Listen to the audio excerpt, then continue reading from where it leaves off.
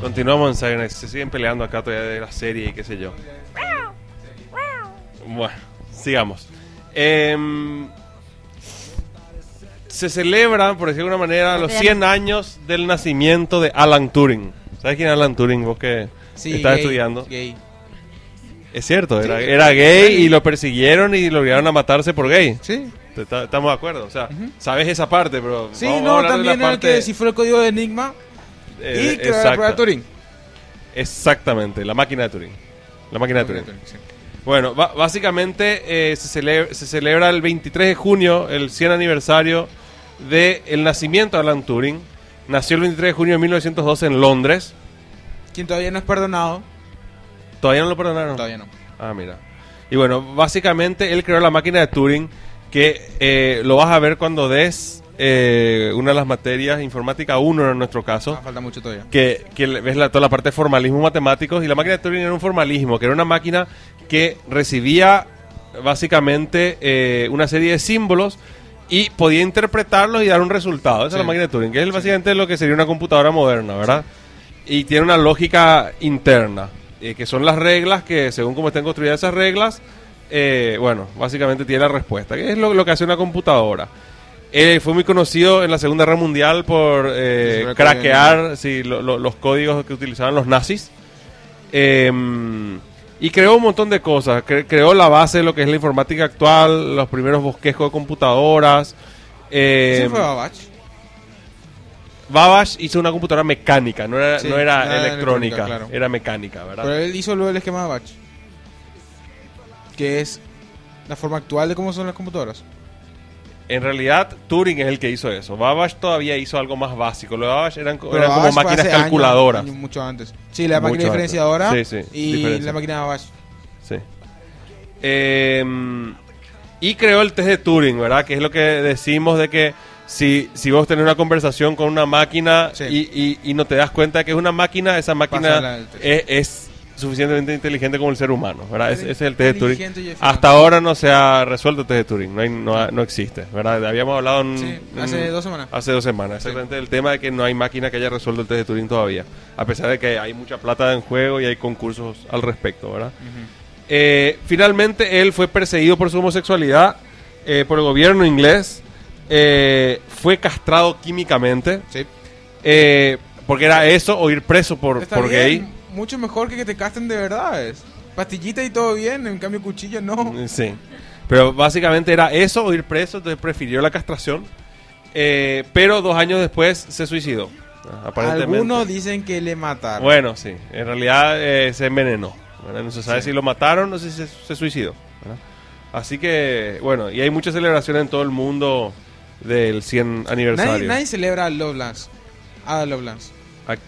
La primera programadora.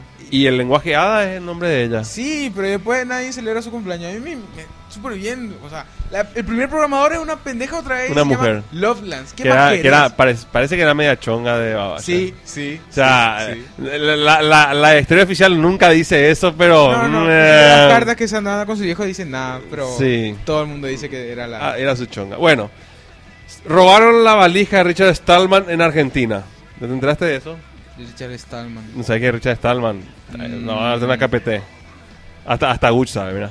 Sí, pero yo no sé. Richard Stallman es el defensor del software libre, creador del eh, Free Ah, no, Software Todavía no me meto tanto en los Foundation. hippies de la informática. Eso de quinto semestre para arriba te meten en los hippies. Ah, bueno, no, no es hip. Ah, no sabe- Ah, lo, que encanta. encantaba a Loros no sabía.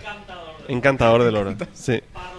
Bueno, básicamente él y se pasa recorriendo el mundo dando conferencias sobre la libertad, no solamente en el software, sino en todo en realidad, ¿verdad? Imagino que Él tiene él un- con la organización GNU.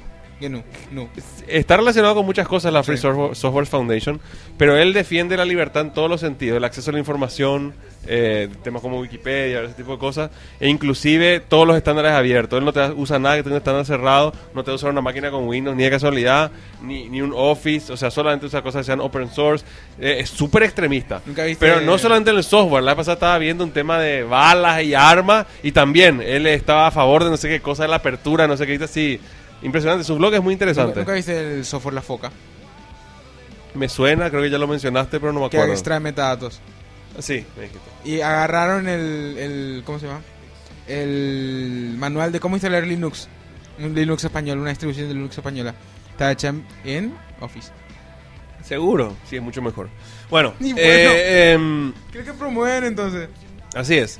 Eh, él estuvo en Buenos Aires el 8 de junio y eh, estaba dando su presen- presentación, tenía su valija ahí, no sé por qué tenía su valija ahí, y estaba saludando gente y de repente ya no estaba su valija, no estaba más su... importante, no sí, estaba- total, es todo libre y y todo su bonito. laptop, por ejemplo, estaba, su pasaporte, no podía salir del país, todo ese tipo de cosas. Ah, sí, pero no, no, no, creo que por Dios se le robó información.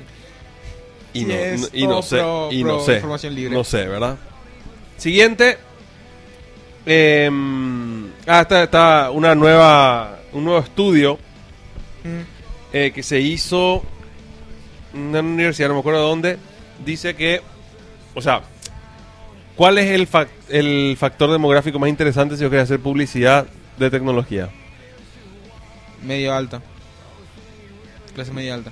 Ah, claro, no, pero estamos hablando de demografía, eh, sexo, edad, eh, o sea, ¿a qué, a qué se apunta? Hombres de 25 a 30. Bueno, el demográfico de tecnología siempre fue hombres de 18 a 35 años. Es- Sí, ese, casi, ese, ¿verdad? casi. Eh, bueno, hay estudios nuevos que dicen que eso es falso, que está equivocado y de que tienen que cambiar la- todo tipo de publicidades porque están apuntando al público erróneo. ¿Y cuál es el público correcto? El público correcto son Mujeres las de- mujeres, Sí, sabía. las mujeres de aproximadamente 50 años, en realidad. ¿Eh? Dicen que eh, el, eh, el investigador Genevieve Bell eh, tiene, ha demostrado esto con sus investigaciones, porque dice que actualmente son las mujeres las primeras adoptadoras de nuevas tecnologías. Eh, de hecho, las mujeres utilizan 17% más tiempo Internet que los hombres. Las mujeres son más proclives a elegir ellas su teléfono celular, utilizan más tiempo hablando en el teléfono celular, utilizan más tiempo utilizando sistemas de localización eh, eh, GPS y todo eso. Ah, También pasan, envían más mensajes que los hombres. Eh, son los, la mayor cantidad de usuarios de Skype. Eh, son las más usuarias de social media, o sea, de Facebook, claro. todo lo demás, exceptuando Linke- LinkedIn. LinkedIn son más hombres los que usan. Claro, sí, los la- las mujeres son además la mayoría de las que tienen eh, devices con la conexión a internet, tipo lectores, tema de salud, GPS y un montón de tecnología que es prácticamente y únicamente utilizada por mujeres. ¿verdad? Vos sos una de esas. No, Sí. no 50. Eh, y básicamente pero son... mucho. Las mujeres son las que cuidan a los niños y las que introducen por primera vez a los niños la tecnología y son las que eligen lo que los niños van a utilizar. Mi sobrinito tiene cuatro años y ya, ya sabe usar la tablet de su mamá. Y bueno, la de la mamá, ¿viste? Encima por, de Apple. por eso te digo, ¿verdad? Eh, y son los que mu- las que muchas veces eligen lo que quieren que se compre para la casa, ¿verdad? Yo sí. Eh, Y en muchos casos la, la familia comparte ciertos dispositivos que ha sido elegido o comprado por la madre, la cámara de fotos, la computadora, ese tipo de cosas.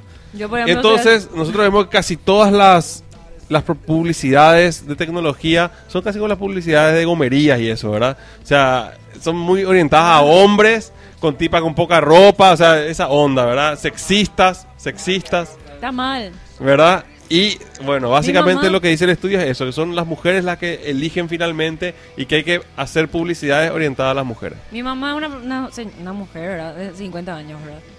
Y, señora, le iba a decir porque te estás acostumbrada.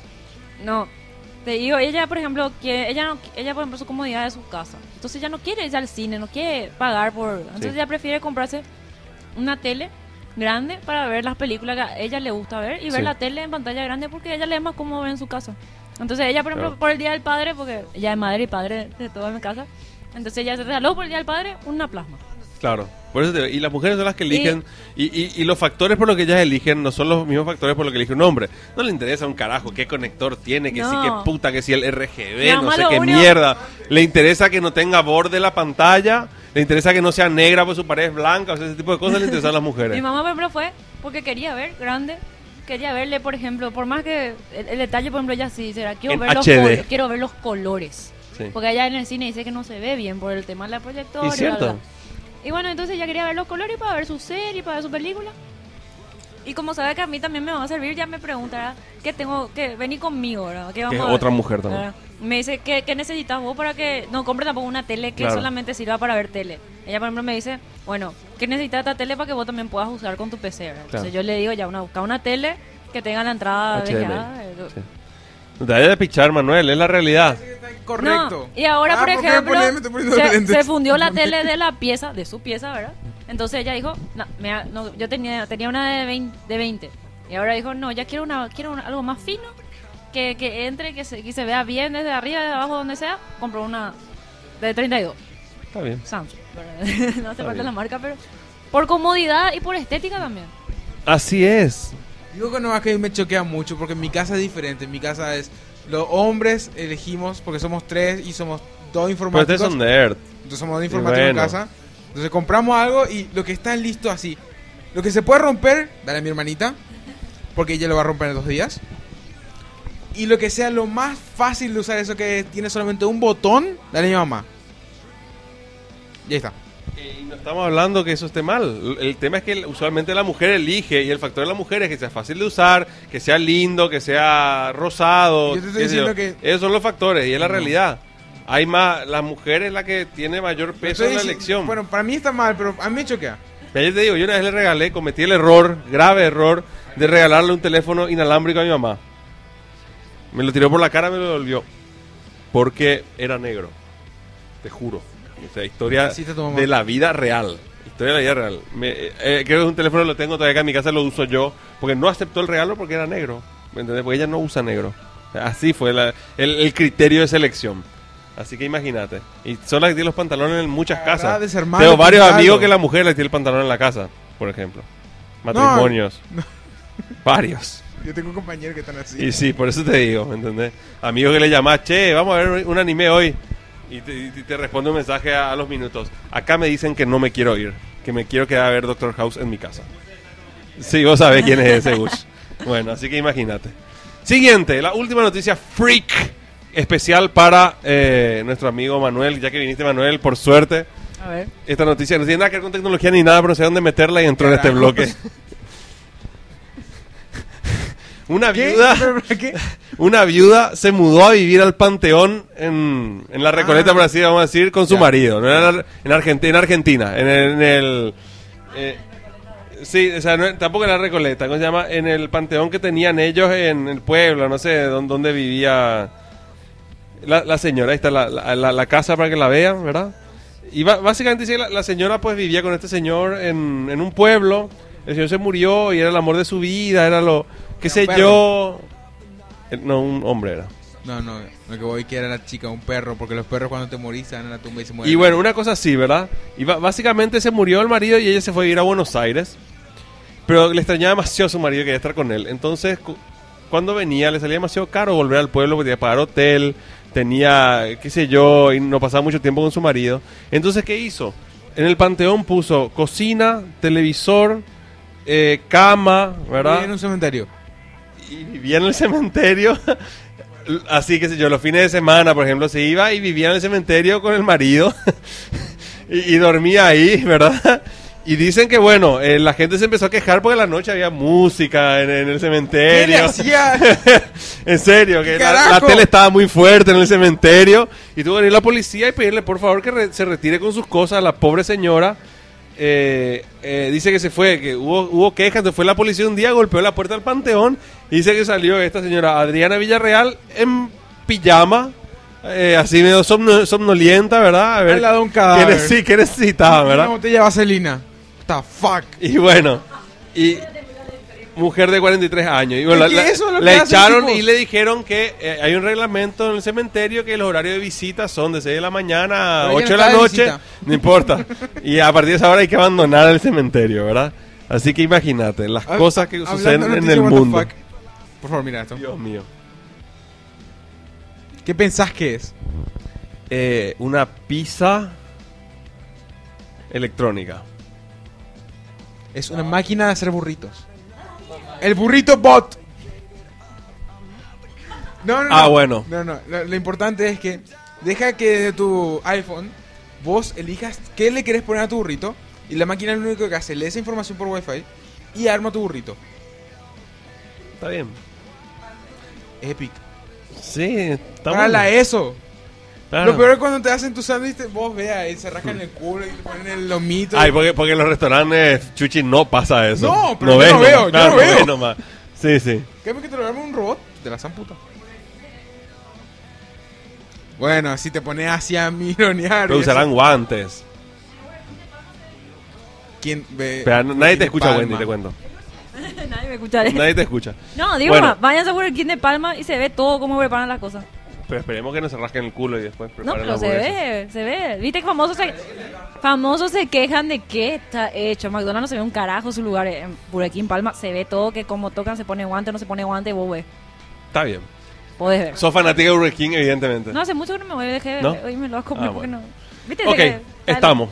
Vamos a- al, al corte escuchando The Outfield con un clásico de los años 80, que es Your Love. Y ya regresamos a hablar de tecnología. Coach.